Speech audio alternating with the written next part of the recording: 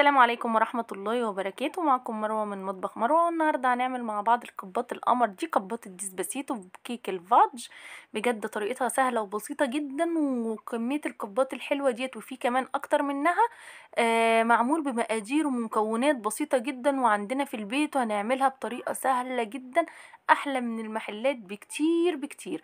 بصوا جمال الطبقات وجمال شكل الكب بجد جميل جدا. طريقتها سهلة وبسيطة جدا والكيك بتاعها juicy وطعمه جميل قوي قوي بجد كبات حلوة جدا وتنفع لمشاريع الأونلاين حلوة قوي قوي تعالوا يلا نشوف الكبات الحلوة دي عملناها إزاي وطريقتها إيه وإيه المقادير. قبل ما نخش الفيديو بقى ما تنسينيش في ال like وال share أول حاجة عندي هنا في الخلاط أهو مش هنحتاج بقى لا عجان ولا مضرب ولا أي حاجة من دي في الخلاط. حطيت بيضاية واحدة وحطيت فانيليا. وأحط عليها كوباية كوباية إلا ربع لبن وهحط عليها كوباية سكر كوباية إلا ربع لبن وهحط عليها كوباية سكر. أهي كوباية سكر عادي خالص. وهحط باكت من النسكافيه سريع الذوبان أو معلقة صغيرة من النسكافيه سريع الذوبان وهحط معلقة كبيرة خل. دي كل إيه كل المكونات بتاع الكيك بتاعنا النهارده وهحط ربع كوباية زيت.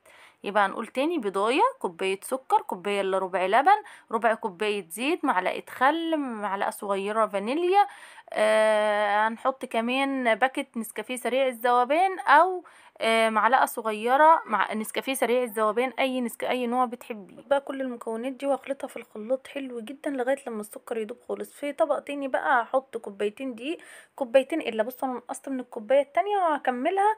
كاكاو يعني كوبايتين وب... يعني مثلا ربع كوباية ولا تلت الكوبايه كاكاو. وحطيت معلقة كبيرة مليانة baking powder أو باكت baking powder. وأقلبهم مع بعض وهنزل عليهم بالخليط اللي إحنا ضربناه مع بعض لغاية لما الكيك يمتزج كده مع بعض وما يبقاش فيه دقيق خالص. هكون عندي بقى غالية مية مغلية نص كوباية مية مغلية. مغلية بصوا سخنة إزاي؟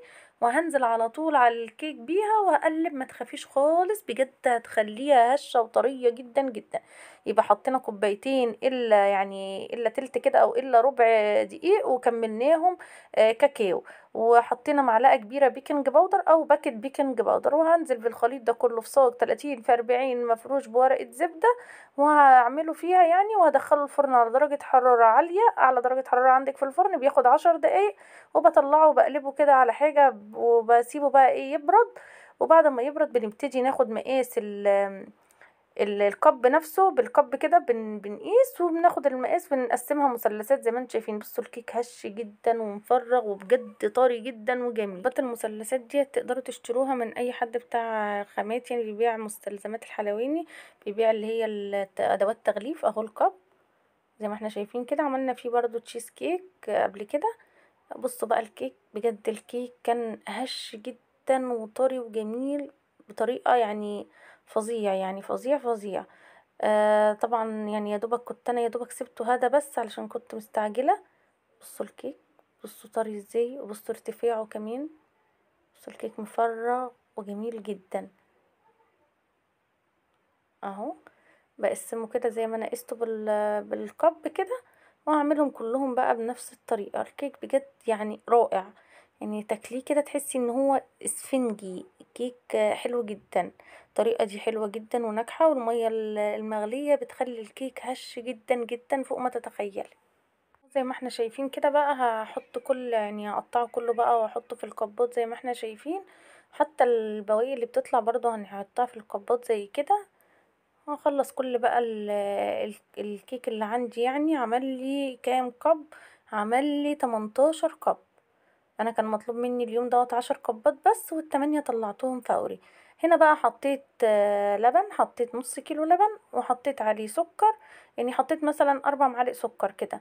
وضربتهم حلو مع بعض لغاية لما السكر مع اللبن داب شوية وبعد كده نزلت عليه بكوباية ونص كريم شانتيه ومعلقتين كده كاكاو وضربتهم مع بعض حلو جدا لغاية لما إيه امتزجوا مع بعض. هنا بقى ديت اللي أنا بسقي بيه ده الخليط اللي بسقي بيه ده لبن لبن ومحطوط عليه شوكولاتة جناش شوكولاتة. يعني لبن ومحطوط عليه جناش شوكولاتة مش مش مش شربات ولا أي حاجة ولا مية. آه بسقي بقى باللبن كده بغرق الكيك باللبن لغاية لما الكيك أحسه إن هو يعني شرب لبن كده بحسه إن هو طري جدا.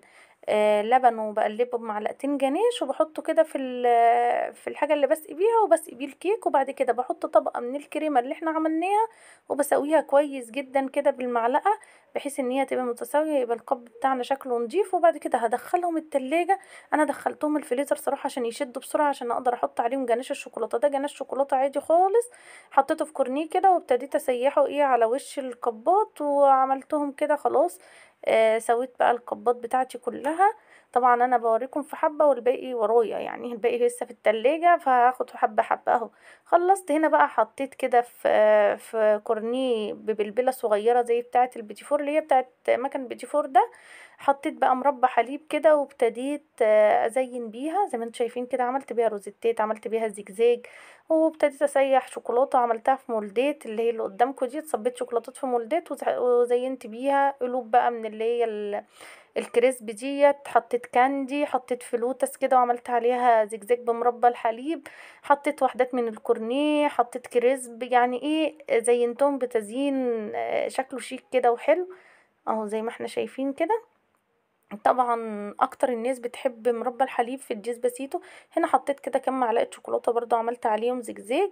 كل دوت أنا مسيحاه في المولدات وزينتها بشوكولاتات يعني زي ما إحنا شايفين كده. آه، وحاجات تكسر اللون عشان يبقى شكل القب شيك وحلو. آه، وكان دي طريقة التزيين بتاعتي طريقة سهلة وبسيطة وما فيهاش أي حاجة والقب بيبقى شيك وحلو جدا زي ما أنتوا شايفين كده. بصوا جميل جدا وشيك جدا وتزيينه رقيق وبسيط وبجد كان طعمه رهيب يعني وعجب العميلة جدا. يا رب يكون طريقتي سهلة وبسيطة وتقدروا تنفذوها تقدروا تعملوا منها مشاريع مربحة وحلوة جدا وسهلة وطعمها كمان جميل. يا رب يكون الطريقة عجبتكم ولو عجبتكم الطريقة ما تنسوش بقى تعملوا لي like و share و subscribe للقناة على اليوتيوب وتفعلوا زر الجرس عشان يوصلكم مني كل جديد. والسلام عليكم ورحمة الله وبركاته.